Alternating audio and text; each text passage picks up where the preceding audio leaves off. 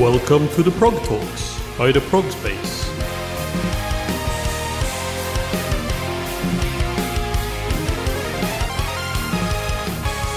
Welcome to the Prog Talks, an interview series by the Prog Space where we will be talking to musicians in all corners of the progressive music scene.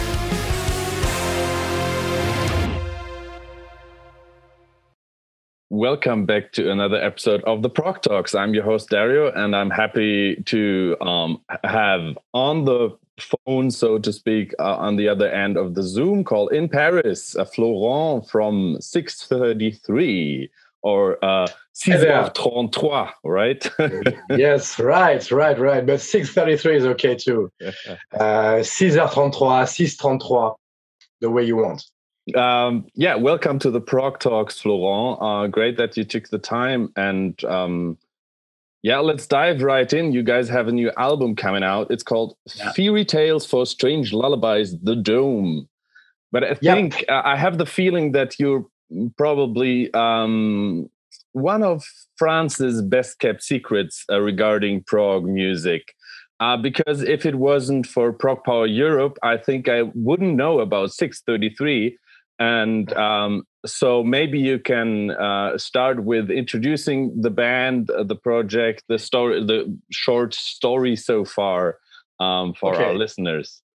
Okay, um, it's a band without boundaries. I mean, we we we are coming from several several kinds of music that we try to digest in something special, something personal. Um, we we we come from prog metal, uh, alternative prog metal. It's difficult to put uh, a name on the music that we made because because we got no boundaries actually, and it's um, it's a kind of concept band. First of all, we didn't have any drummer. The drums are programmed, mm-hmm. um, and uh, we were wearing masks playing clowns or I remember that weirdos like um, like freak shows and that kind of stuff. We're enjoying disguising us and putting masks. Um, the concept has changed a little bit with this album. I mean that we we now we have a drummer, and uh, we we we we decided to to have a drummer on stage because we were missing something uh, we were missing the fucking drummer behind us. we, we, tried we tried the concept and we pushed it very f- the the farthest we could, uh, as we could see if you watch some some videos on internet. But we didn't have the impact of the drums on stage, and actually that was the moment that we decided to take one. And uh, and the the COVID and the the the made us being fed up with the masks. So so we decided at the same time to to stop that. Was not funny anymore. Um, but so so now we are more more uh, normal normal band. Because it was really what, I it what is normal when it comes to 633 I mean uh, uh we, we were we had to answer that question for several years. It means why don't you have a drummer? And we were like on this hybrid stuff but um so we were outcast and of the outcasts uh, in a way you know and uh, that's that's a reason why also we were well. you didn't hear a lot about us because we were in so different kinds of things that we were maybe like in too many things so we try we, we, we, we tried to focus on what we were really and not being on the performance but more on what we were feeling so we made this album being really close to the things we liked in music. I mean, the 80s and the 90s. Um, yeah, let, us let's, let's talk about the album in a second. Just uh, to to to um, throw in some some some hard facts here. Um, you guys have been existing since uh, 2010, so a little bit over 10 years now. And uh, Feary Tales is gonna be your fourth album, right? Yeah. And yeah. uh, there has been quite a long gap between the, sec- uh, the the third album, Deadly Scenes, from 2015, and now Feary Tales. Um, so uh, yeah, what have have you been up to in the meantime? And and uh, you already started a little bit um, describing the the process of uh, the how Feary Tales came to be. Um, yeah, actually, um, the band had a different singer before. It's a it's a long story, but I arrived on Deadly, and I arrived on the second album with Arno Strobl called um, uh, the, the stench from the swelling.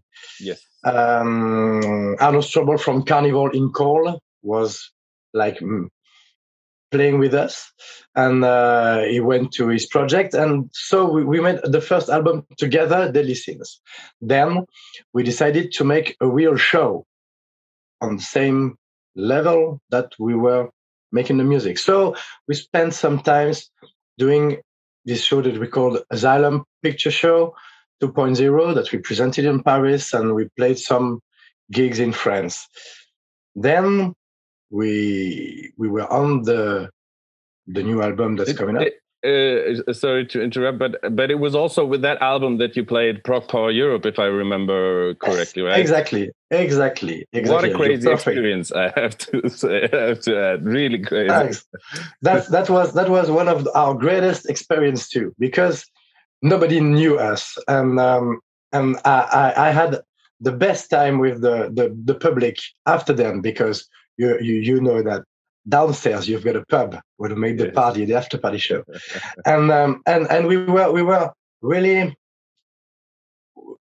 the, the people came to see us like like you said like we didn't know what we were doing here with you for the first five minutes. But then then we went with you for the, the, the rest of the show and it was crazy and the people were so happy and so we were we were like like you know when when when you when you create music you, you just want to feel this kind of thing with the public. And france is not it's not an easy public with this kind of music. Mm-hmm. um, outside you have you have the more more more interest for that kind of music. So we had we, we just felt that we were right to think that our music was great because at home you're at home. But when you, you you spread it to the world and you see that the people outside really feels what you what you wanted to make them feel, you're you're just you're just very happy. Beautiful. Um, and uh, so, yeah, uh, and I'm glad and I'm, and I'm glad I'm glad I'm glad I'm glad you liked this show because it was really a great one. And so then moving on to the new album, yes. Yes, and um, actually um, we had um, family things. I mean, I had two children uh, the guitarist had one. The the keyboardist had two. I get I got married. One has changed his, his, his house. That made us like we we lost some time in that. But most of all, then the COVID arrived. So we were we were supposed to finish the album like a year before, and um, we couldn't meet each other because we're not living exactly in the same place and we couldn't leave home for a long time. So yeah. we we, we lost time again.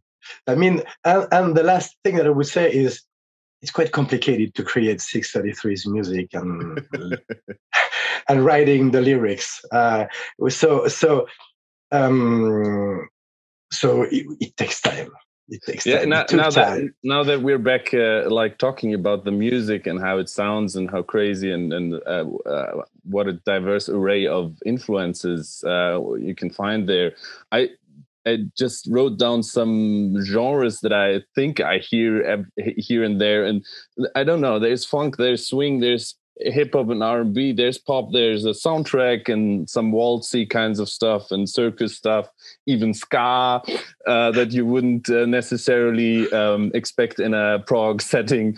Um, gospel, church organ. Um, synthwave you name it yeah um, that that you, you yeah i think you you you you're, you're already quite done um that's the thing we like we like Michael Jackson as much as David Thompson, as much as Ennio Morricone or Danny Elfman, and uh, then hip hop is the the one shot. I did it once. Once the the Nico who is creating all the music. Um, I write the lyrics, is creating the music. Nico Nico doesn't like hip hop. Of course, he's creating the music, and uh, very often the music is not as rich as he would love to. And uh, but but at one moment, well, on one song, I said, I just see hip hop here, so let's try it. And uh, and he and he was open minded enough to say, okay, let's try it. And okay, okay, it works. And okay, that fucking works. So we have hip hop, but that's the most unexpected kind of music that we could have. Uh, we we are as soon as it makes us, us laugh, as mm-hmm. soon as we found it fun, and as soon as it works, you know, you know, we keep it. It has to work. It has to make us feel something. Usually, when when when we we we share the, the, the creations together, we just like feel if it works or not. You're having fun. You're laughing. If yeah, that, that okay. brings me to, to, my next question actually, because uh, um, uh, in in these when when you are looking for you know this kind of avant-garde prog or whatever, I think there's uh, there's an abundance. There's tons of of you know underground dissonant black and death metal and like like yeah. really really dark and heavy and brutal stuff and um like this kind of wacky funny uh, uh stuff like uh, like you guys do I, I, can only think of a handful of bands like you know Diablo Swing Orchestra or Schizoid Lloyd from the Netherlands um I don't know Unexpected Dog Fashion Dog Fashion Disco um, yeah, there, there's only a handful of bands uh, that that that are like don't take themselves so seriously and like really go full full into the crazy and funny stuff. Um, so I was thinking, do you think that maybe a prog metal mostly takes itself too seriously? Oh, um, maybe, maybe, uh, maybe, but um, I think it's not like just for progressive metal. Um, uh, it's about music. You know, uh, it could be Herbie Hancock. It could be um, uh, Marcus Miller say the same thing. Um, I think you have um, some people. You know, in in jazz, I feel about the same sometimes, and I love the New Orleans jazz. Um, it's we're not making we're just making music and having fun doing that. Uh, I wouldn't. I think. How could I say that? I like the thing that we have several senses of humor, several several moods. So why we should just use and talk about one fucking mood? Whatever it would be. Not I'm not like always ha ha ha ha. No, not always because it would be boring too.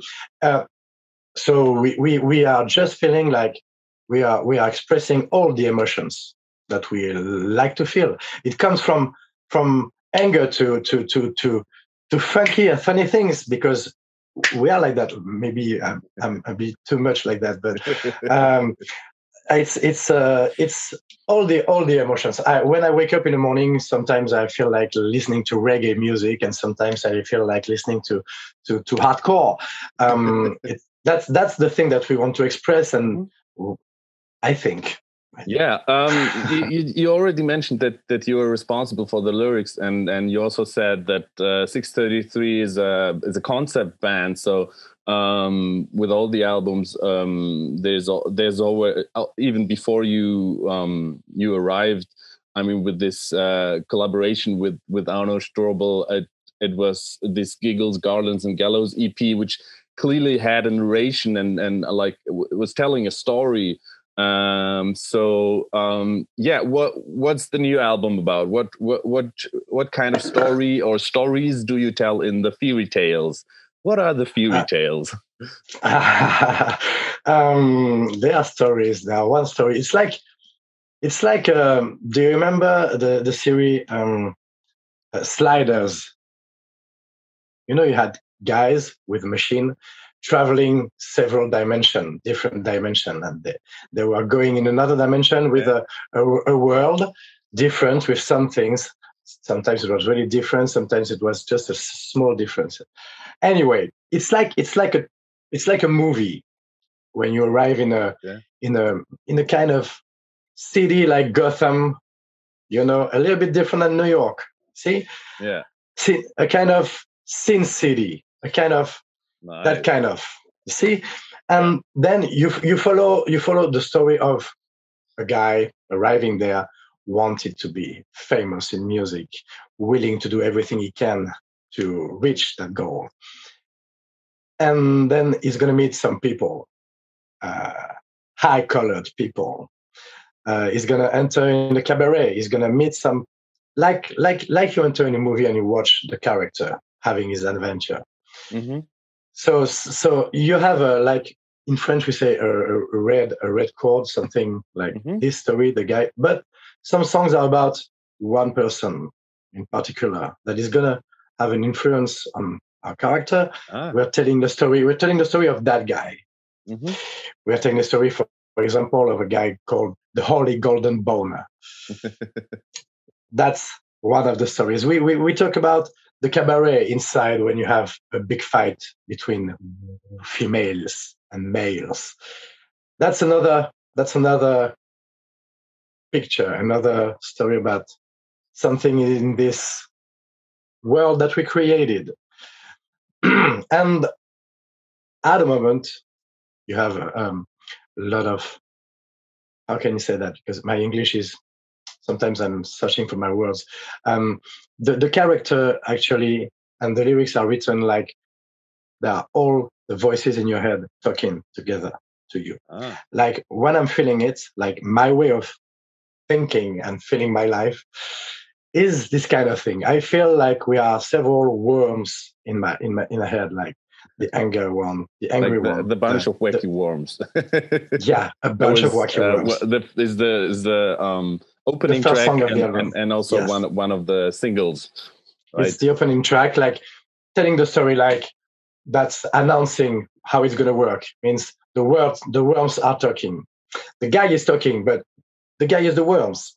so so it's sometimes it's you, sometimes it's we, sometimes it's I. It's how I work and how we all kind of work. I mean, and um, they are talking to us. They are talking to us, and I feel like that. So the guy is trying to reach his goal, having metaphysics, metaphysical quest- questions, and um, trying realizing at a moment. If he, I'm not going to tell you the story, but uh, all the story. You have to read the lyrics, but he's gonna he's gonna go to his adventure, and um, and the climax is at the end of the album because it's going to be a double, I think. We are not telling all the story on this album. We are telling half of the story on this album. And that's the first album about the, the, the world that we created in the album, in, in the previous one. I mean, on some songs like I'm Nerd or Black Widow, we were beginning to think about this alternative world just mm-hmm. a little bit different with freaks, with superheroes, supervillains, but different than the ones we, we the ones we know in our world. Yeah. So we are just we are just going through this opening door that we have opened opened a few a few a few years ago. Into so, the dome. into the dome, exactly into the dome. I and that's the first time I really have somebody telling me the words that I've written and I thought so much time with my with my friends. So it's it's funny to hear it I like the dome it's the dome and uh, that's that's that's uh, an ambience that's an atmosphere uh, and you have several atmosphere and several ambiances mm-hmm. because that's how a city is how yeah if you are enjoying this interview, please head over to theprogspace.com for more reviews, articles, pictures, and interviews all about progressive music. You can also find us on Facebook, Twitter and Instagram. theprogspace.com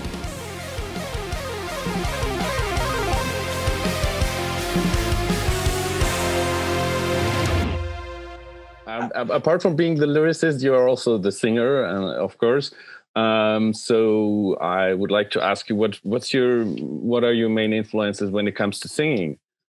What do you mean? Excuse me. The question is uh, what what what were what are your main influences when it comes to singing? As you're also the vocalist. Um, uh, okay. Um, Uh, I've got. I would say, um, of course, and I, I, I always get to that guy with because he's one of the guys who uses his voice a little bit like no, not exactly like me because I I learned how to sing listening to this guy. This guy is called Mike Patton because because uh, it's a it's a it's a good it's a good uh, it's a good mentor. But um, yeah, actually, when I was when I was a child, uh, I was listening to Metallica, Iron Maiden, all, uh, and uh, trying to sing, but but but I never managed to. I didn't. I was I was like twelve, you know, like, but I didn't I didn't manage to, and I was wondering how why and and when I discovered Faith No More, mm-hmm. I just I just understood how he was singing. I just felt like I could. I do. I do it. Yes, I know how he. I managed to do that. Um, then you had Rage Against the Machine. Uh, I love Zack de la Rocha. I love Rage Against the Machine. That's really a big influence for me. And uh, I don't use it a lot on on on on 633, but sometimes when I, when it comes to hardcore a little bits, and I think about Zack. Um, but but Faith, Faith No More uh, and Mr. Bungle, yeah, of course, Mr. Bungle. Uh, it's yeah. it's an influence for the band too because again, not not I didn't. I, I'm not going to say that I copied Mike Patton. I just understood how he was singing because his technique is is is a, is the good technique for a singer because he knows how to sing. He's a is the best fucking technician of of my world of the of the of the of the music I know, yeah. because he uses his voice, and uh, I I learned music then. I learned how to sing. I'm a teacher now. I'm uh, I know how to use this instrument, and he is the greatest in that using the instrument. So he is my main my my my, my mentor. He was my mentor, mm-hmm. um, and and his way of thinking music, like Frank Zappa. Uh, uh, is has no no boundaries. That's yeah. the thing about 633. Primus was a little bit like that too, but mister mm-hmm. Bungle in the 90s, when I was 15, 70s, it, it was it was it was the band without boundaries mixing ska and and, and, and crooner music and, and, and metal. So mm-hmm. Faith No More, Faith No More was crossover too. Yeah. It was mixing. The first the first hip hop and metal song was epic. So um, he was it was crossing the lines. It was yeah. he was doing exactly what we were doing on, on 633. So a, he's a he's one of the examples that we could follow. But there are there are some others like Frank Zappa, um, for me like Devin Townsend for for for, for Nico. But, but for my my my using my voice, Mike Patton is one the one. Then you have Freddie Mercury because of the the show things you have you have some others, but I, I'm not able to sing like Freddie Mercury. so because they are very specific, who can who can? But like like a lot of singers actually who has a very typical voice. Mike Patton and I are trying several different kinds of voices, like yeah. like like we are using all we can use. Uh, he's, oh. he's much much much much much better than I. I'm just I'm just a little piece of shit. Yeah. but that's the same. That's the same. That's the same way of thinking. Yeah, whenever I think of Mike Patton, and and and uh, I mean, he's done so many things uh, in the last thirty years. I don't know um, that I that I never I, I have no idea like how vast his discography is. So I've nowhere near uh, uh, checked out all his stuff, but I always think of him that he's able to create all the most human and inhuman noises with his voice. yeah, yeah. He, he, has he has pushed he has pushed the thing like the the farthest uh, uh, he could. I think so. Now he's, he's he's getting yeah. Sometimes sometimes I don't follow him.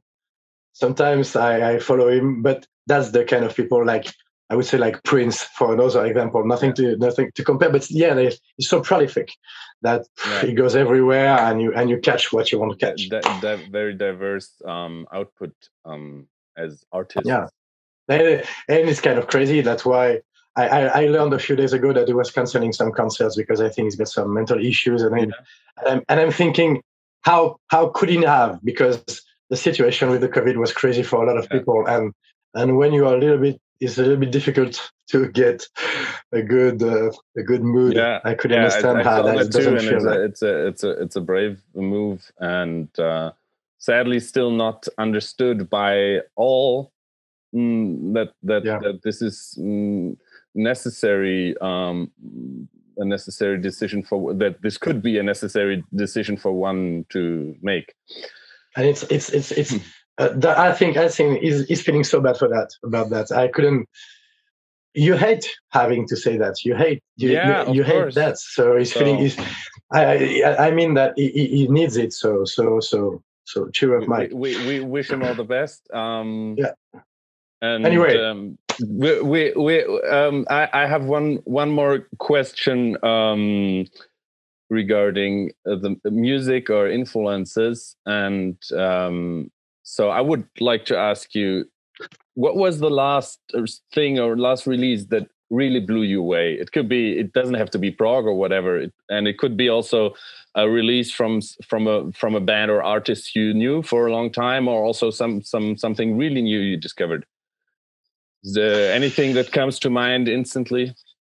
let me think one second because there's not there's not so many things. Uh this this this last few years i didn't have the, a lot of time to discover a lot of things. Mhm. uh, I, I made my children listening to the good stuff i had you know i have two little two little boys. So i spent a lot of time making them listening to the good music. But sometimes it comes to me some things. I would say Igorrr Igorrr Mhm. is is a crazy fucking fuck man things. Um, um, Very uh. Diab- Diab- Diab- Diablo Swing Orchestra, but it's it's al- it's already like quite an, an old an old discovery, uh, Diablo Swing Orchestra. But that's Yeah. the thing because because it makes me laugh because it makes Yeah. because that's fucking great and that's that's swing. Uh, that was something They, you know. they, they're coming out with a new album as well uh, in November. Uh, Yes. which which is just gonna be really cool. I think Um, so. Yeah, I just had like now that we're recording this just yesterday. Um, one of my favorite non-prog bands, uh, new non-prog bands, dropped a new album, and uh, the three young guys from New Zealand are called. The band is called Alien Weaponry, and they're doing some kind of crazy Maori thrash metal. And Okay. um, there's their second album, Tangaroa, and my god, it blew my mind. And and the th- first album, like three years ago or something, the, the the guys were like 17 or 18 and went on to play right. Wacken and Summer Breeze and everywhere. And on the big big metal festivals, and I'm so looking forward to seeing them again together with Gojira. Uh, they're Okay. gonna they're gonna tour with Gojira uh, in fe- February Excellent. next year, I think. So Excellent. I'm super super pumped about that. This is like some really really unique stuff there. Um, it's the only band that I know that sings like thrash metal band, of course, that sings in, Okay. in, in their native Maori tongue. I would Uh, love to discover that. uh, yeah, it's really crazy stuff, and um, it, it it definitely blew my mind. Um, you guys out there, you sh- really should check out 633 because it has the potential to blow your minds as well. Um, Wow. Finishing off this interview, um, uh, we at the Prog Space are really happy that you guys are going to play at our online festival. Yes. Um, and uh, can you tell us, uh, give us maybe a little hint uh, at what you're preparing? Uh, actually, on Monday we are entering in studio for a week to to rehearse. Uh, we we did it one month ago, and we do it again now because we got a concert in a few in a few weeks. But during this rehearsal, we're going to record the songs we're going to give you for the Prog Space, and um, we are we are very excited. Of course, um, we are we are going to give you new stuff as much as we can.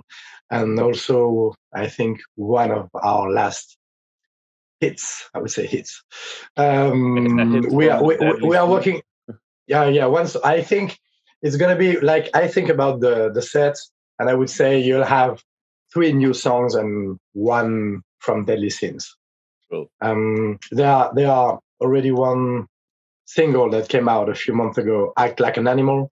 Yes. That's I can I can say that we're gonna play this one. Okay, it's gonna be crazy. You already mentioned that that would be my my last question. You already mentioned that you you have a concert coming up, so um, mm, hopefully the the um, moving forward, um, it's it's gonna be more easy to play live again in in general in in the world. Um, but any any more plans other than that uh, so far that you can talk about? Um, some plans, not not nothing really ready to concrete. announce, but you're working. Um, but we're working on it. Uh, it's kind of difficult because all the concerts that were programmed are coming to be reprogrammed uh, yeah. now and until until September. booked. yes, until until until next year, like yes. like sep- September next year in France, yeah. it's already very blocked. But we still can find small places like cool places we are to we have to organize that. We are trying to we are working on that with some French bands, and uh, and uh, I'm talking with Diablo Swing Orchestra actually because uh, we are we are just we just sent a message, but we just introduced ourselves. Yeah. Um. So for the moment, that's nothing. I know that I want to come to France. They're not sure we are trying to to uh, we, we would like to help them come here and that's, to make that something. Would be um, um, a uh, great uh, match, of course. that's a, that's the kind of band that I would love to play with. Um, but we are trying to. There are, there are some good good bands that I would love to share stage with, like Dirty Shirts. It's a mm-hmm. it's um Romanian you know band. them. Yeah, That's a very good one. That's yes. they are they are they are they are Mihail Mihail is a nice friend. I I, I, are, I, saw them I saw them opening for for um Orphan Land. Vacuum. Okay, and, uh, with Orphan Land here in Munich, and yeah, they're they're they're super fun. They're like like yeah, Balkan core or whatever you want to call it. whatever you whatever you want to call it, but uh, but there are people that a lot of fun to, as well. Definitely, yeah, definitely. yeah, yeah. We played with them several years ago, and we would like to to to to do that again. We are trying to make things with um with bands, nice bands that we would love to share. That's cool. With. That's uh, that's that's great. Uh, that the scene is like also kind of coming together in this crisis and, and, and trying to, to reach out and help each other. And um, the metal, yeah, the we, metal, we, the, the metal world is is uh, yeah, we're, we're, we're gonna we're gonna come back stronger. yeah, and uh, the, the, the, the metal community, the metal community is. Uh, I I play in different kind of music stuff. I play several kinds of music with other bands, other projects. Anyway, mm-hmm. so I, I I know that metal, the metal community is the is the greatest one for for band for small bands. Mm-hmm. Of course, you have you have the big bands that are, that are going to play easily, but but for us, for the small bands, yeah, the public and the community is is um, helping us. They are they are still the one that buy merch that support us. Last time I, I, I had a message from a guy who has ordered the new CD, but he doesn't have a CD player he just he just wants he just wants the object and to support. And um, that's awesome. that's that's what i'm saying. So that's thanks to these people thanks to the, these people that we are hoping that we are hoping to be back stronger and uh, for long we are trying to reach the, the step upper with 633 uh, step yes. Yeah. um, and um, we'll try to do that with Thanks. Yeah, I, I, also want to thank the people uh, watching or listening to the Prog Talks. Uh, thank you for tuning in. Thank you, Florent, for taking the time. It was a pleasure having you here on the Prog Talks. Pleasure um, for me too. You guys out there, uh, check out 633 on the socials. You find all the links in the description as always. And uh, go and order their crazy, crazy good new album, Feary Tales for Strange Lullabies, The Dome. Thanks uh, so stay much. tuned for the um, appearance of 633 on the Progspace Online Festival, the third edition this November 19th and 20th. Um, again, thank you for listening. Um, please like and subscribe uh, uh, to our channels if you uh, like what we're doing. Uh, it's very much appreciated and helps us out a lot. And yeah, until next time, stay safe and keep spreading that prog love. The Prog Talks, produced by the Prog Space. Main host Rune Belsvik Reinås. Produced by Rune Belsvik Reinås, Vanessa and Matthias Kirsch. All graphics and animations by Vanessa Kirsch. Intro theme by Giuseppe Negri. Outro theme by Zach Munovitz. This was the Prog Talks by the Prog Space. See you in a week.